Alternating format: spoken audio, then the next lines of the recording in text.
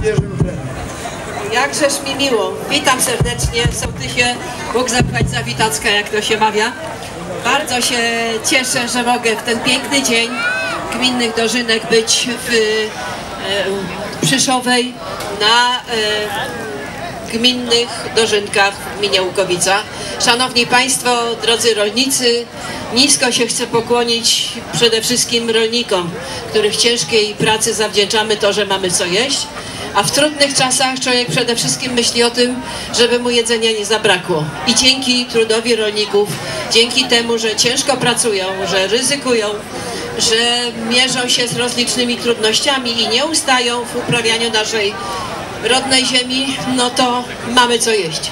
Ale moi drodzy, jak mnie tutaj sołtys zapytał na wstępie, czy jakąś kasę przywiozłam, owszem tak, proszę Państwa, cały czas Pan Wójt tutaj dzielnie robi przetargi na wszystkie te wsparcia finansowe, które również gmina Łukowica otrzymuje z tych wszystkich źródeł, e, które rząd Zjednoczonej Prawicy przygotował, bo i z Rządowego Funduszu Rozwoju Dróg, i z Rządowego Funduszu Rozwoju Inwestycji Lokalnych, a przede wszystkim ostatnio w tym mijającym roku e, z Funduszu Inwestycji Strategicznych, z Programu Inwestycji Strategicznych Polski Ład.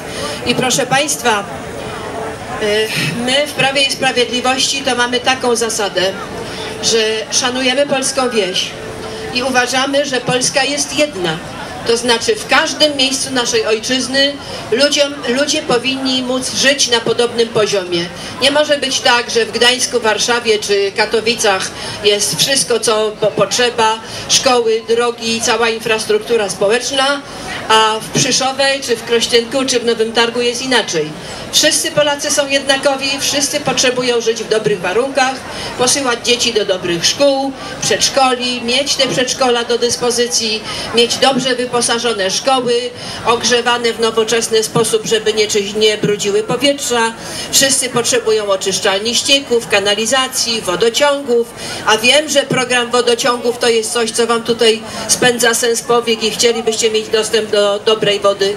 Na wszystkie takie inwestycje rząd stara się gminy wesprzeć i dać im na to pieniądze. Bo proszę Państwa, ten fundusz Polski Ład, program inwestycji strategicznych Polski Ład, to jest taki wyraz zaufania do samorządów, bo rząd uważa i ja uważam tak samo, bo przecież ten rząd w parlamencie wspieram, że jeżeli gmina wybrała jakiś program, y, to go już skonsultowała, przygotowały to, i to jest właśnie taki y, projekt, który jest efektem społecznego konsensusu.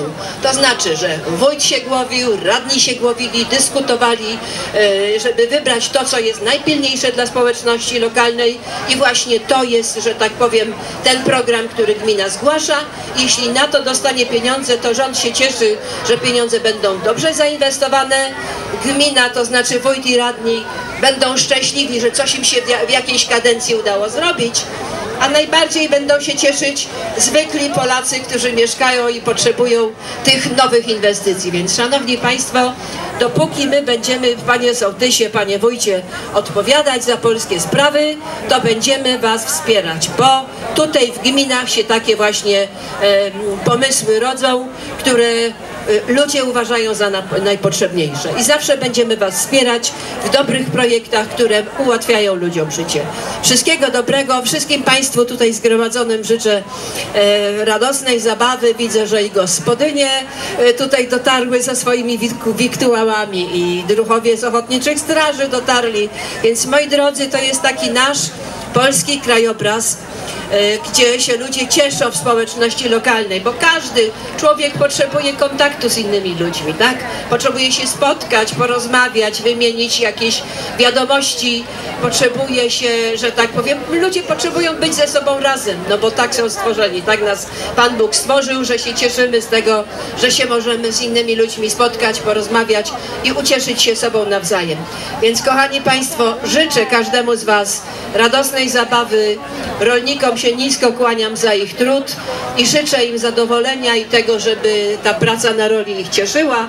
Panu wójtowi, radnym i sołtysowi życzę, żeby tych, żeby tych projektów było jak najwięcej e, i żeby wszystko to, co, co sobie wymarzyliście, coście zaplanowali, coście przygotowali, żeby się wszystko w tej kadencji udało zrobić, a przynajmniej większość tego. Wszystkiego dobrego. Serdecznie dziękuję. My panią posłankę fajnie szanujemy. Za wszystko dla gminy to my dziękujemy.